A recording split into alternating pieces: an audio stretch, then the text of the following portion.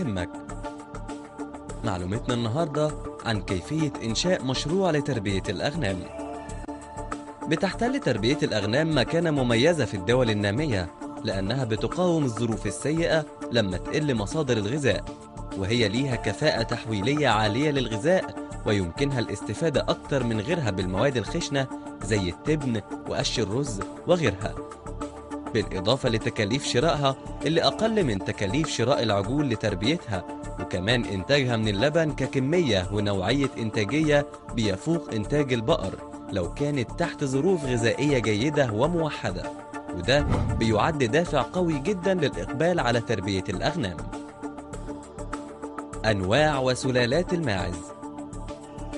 الماعز البلدي وبيسموها الماعز البحراوي وهي الماعز المنتشرة خاصة في منطقة الدلتا ومصر الوسطى وبتتميز صفاتها المظهرية والإنتاجية بتباين ألوانها الكتيرة فمنها الأسود والأبيض والرمادي أو خليط منهم.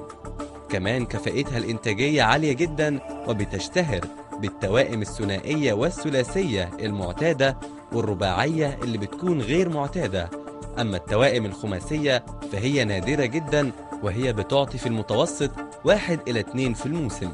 وبتزداد زيادة محسوسة بتحسين ظروف التغذية والرعاية ويمكنها التناسل أكثر من مرة في العام. الماعز الصعيدي. وهي بتتشابه مع الماعز البلدي في كتير من صفاتها فيما عدا حجم الرأس لأنه أكبر والهيكل العظمي أكبر وده بيرجع لدخول بعض صفات الماعز السوداني فيها. كمان بتتحمل الظروف المناخية الحارة وبتتماثل مع الماعز البلدي في صفتها الإنتاجية. الأسس اللي بيقوم عليها مشروع تربية الأغنام. رأس المال. وعلى أساسه بيتم تحديد حجم المشروع ومكوناته. العمالة. بيدار المشروع بواسطة أشخاص عندهم الخبرة الكافية مع ضرورة الإقامة شبه الدائمة. وبيفضل أنه يشرف على المشروع من الناحية الصحية طبيب بيطري ليه خبرة يقوم بالمرور الدوري على القطيع. وبيضع برامج التحصينات والتطهيرات اللازمة وبيخصص لكل 100 راس كبيرة اثنين من الصبية ورجل وده في حالة وجود راعي للقطيع. ومن المهم جدا إننا نشتري قطيع الأغنام من أسواق معروفة أو من مزارع حكومية لأنها بتكون مصدر للثقة. بعد قيام المربي بتحديد سلالة الأغنام اللي هيشتريها لازم يتأكد من أعمار الحيوانات عن طريق السجلات لو توفرت. وفي حالة عدم توفرها يمكن تحديد العمر عن طريق فحص القواطع من الأسنان. وده بفتح الفم وملاحظة حالة القواطع اللي هم الأربع أزواج الأمامية من الأسنان في الفك السفلي.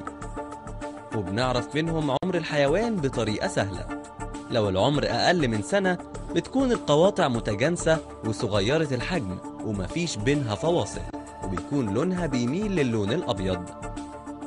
أما لو العمر ما بين سنة أو سنة ونص فبيبدأ الحيوان في تغيير الزوج الأول من القواطع. بيسقط الزوج اللبني الأوسط أولا وبعدها بيبدأ في التبديل ونمو القواطع الدائمة مكانها لحد ما بتكتمل عند عمر سنة ونص. بتحيط بيهم سنتين صغيرين من كل جانب. ولو العمر ما بين سنتين ونص لثلاث سنين ونص. بيحدث تبديل في الزوج الثالث من القواطع زي ما حصل قبل كده. أما لو العمر ما بين 3 سنين ونص لأربع سنين بيكون في الفك السفلي 8 أسنان كبيرة. وكل ما يتقدم في العمر بتتآكل الأسنان وبيكبر الفاصل بينها وبيتغير لونها من الأبيض للون الأصفر. وبعدها بتبدأ في التساقط لحد ما بتتساقط الأسنان كلها تقريبا عند عمر 8 سنين. تغذية الماعز. مفيش نظام سائد لتغذية الماعز في مصر لأنها بيمكنها الاستفادة من مواد العلف الخشنة ومن أوراق الشجر. كمان هي بتتميز بقدرتها على التسلق وهي بتفضل ده بشكل كبير جدا وبتستمتع بيه. وبالنسبة للماعز اللي ليها إنتاج عالي من اللبن لازم نغذيها على مواد العلف المركزة مع الأعلاف الخشنة وكمان مش ممكن نغذيها على مواد علف خشنة بس لأنها ما بتقدرش توفر لها الاحتياجات الغذائية اللازمة للإنتاج العالي من اللبن. الرعاية الصحية للأغنام لازم نهتم بالرعاية الصحية الكاملة للحيوانات ومن أهمها تفادي الرطوبة في أماكن إقامتها واللي بتؤدي لانتشار كتير من الأمراض. عدم السماح للقطيع بالشرب من الأماكن اللي فيها مية راكدة وتوفير مصادر الشرب النظيفة. عدم إدخال حيوانات جديدة إلا بعد التأكد من سلامتها صحيا خاصة خلوها من الأمراض المعدية. المراقبة الجيدة لأفراد القطيع لملاحظة أي حالات مرضية وعزل المصابة منها عن باقي القطيع عشان يتم شفاها وما تعديش غيرها. إجراء التحصينات الدورية حسب برنامج الوحدات البيطرية. العلاج الدوري ضد الطفيليات الداخلية خاصة في مناطق الوادي.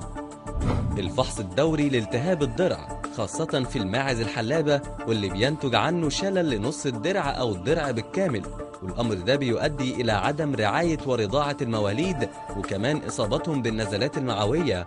ويمكن علاج الحالات دي عن طريق الحقن داخل الحلمة بالمضادات الحيوية المتوفرة في الوحدات البيطرية. يجب عزل الماعز المصابة من القطيع لحين تمام خلوه من أي إصابات بعد ثلاث اختبارات دورية كل 21 يوم. وبيعتبر مرض الإجهاض المعدي من أخطر المشاكل الصحية لقطعان الماعز نظرا لحساسيتها للإصابة به وإمكانية انتقالها للإنسان. يمثل الإنتاج الحيواني أكثر من تلتين الإنتاج الزراعي المصري وبترجع أهمية تربية الأغنام في خصائصها وصلاحيتها للمعيشة في المناطق الصحراوية في إنها بتقوم بدور كبير جدا في تنمية المجتمعات البدوية. وبكده تكون خلصت معلومتنا النهارده.